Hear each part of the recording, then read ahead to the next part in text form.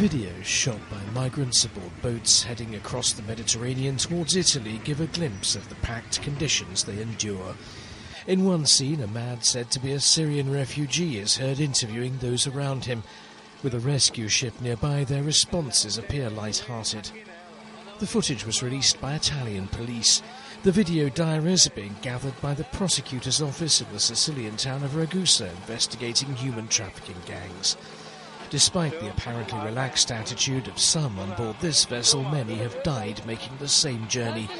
In August alone, more than 300 migrants were dead or missing from three separate incidents in the Mediterranean.